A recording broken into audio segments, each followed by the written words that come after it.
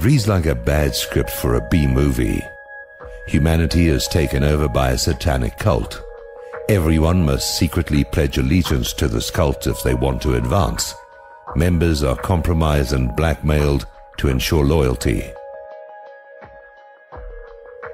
Although this cult's monuments and symbols are everywhere, no one dares to mention its name or challenge its dominance.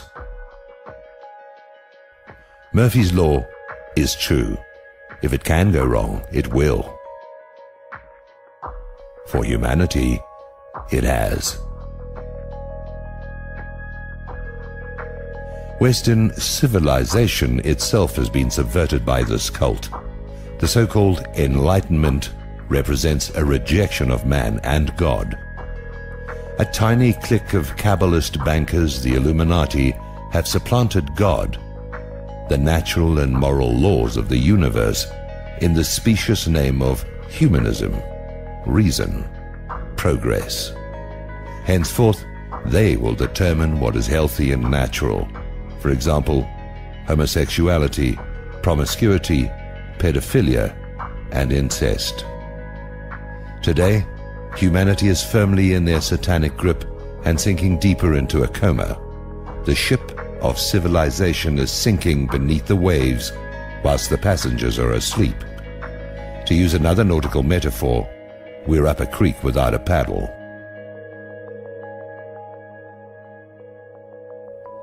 The Illuminati bankers manipulated events to destroy the institutions of Christian civilization religion, God, race, nation, and family and induct humanity into their cult. This is the New World Order. They instigated and financed wars to destroy the nations and then hyped the authors that spread alienation and disillusionment.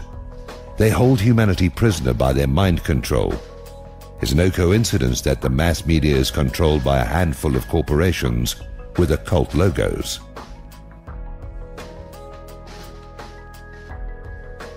The subversion of humanity by this tiny cult and their allies is the suppressed true history of the modern world.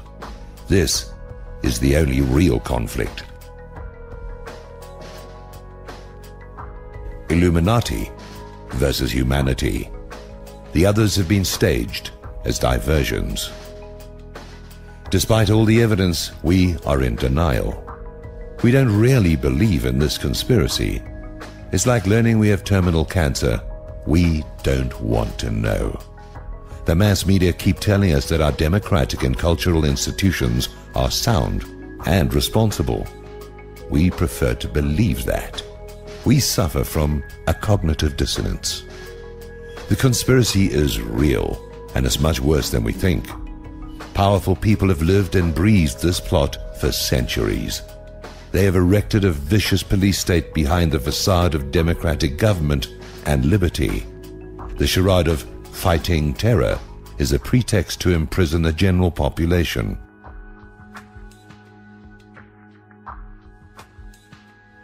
The protocols have been realized. The Illuminati want to own and control everyone. They want to be God.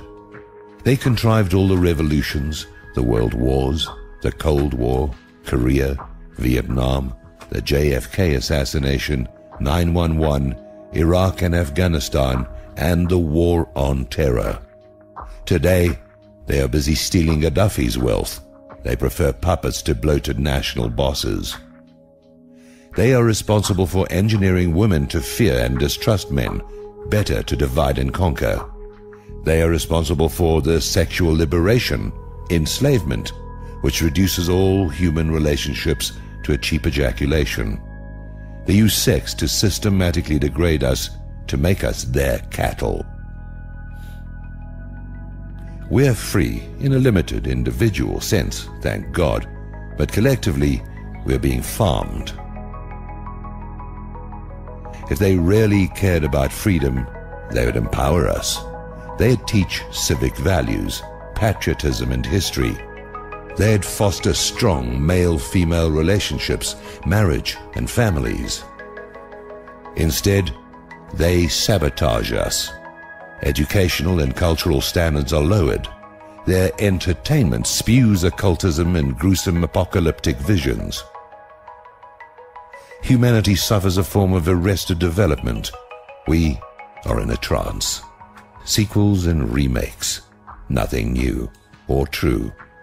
We're not going to make our intended rendezvous with our Creator. What to do? A conspiracy requires secrecy and darkness to thrive.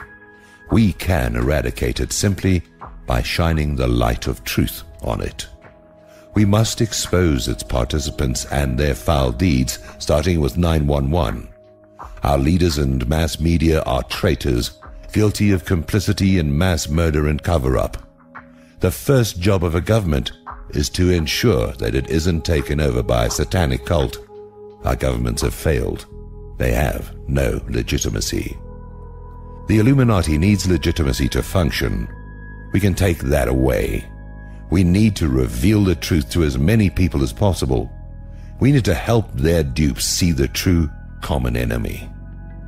We are a tiny sliver of the population, but as the Illuminati tyranny becomes more onerous, many more people will seek the explanations. We must resist peacefully.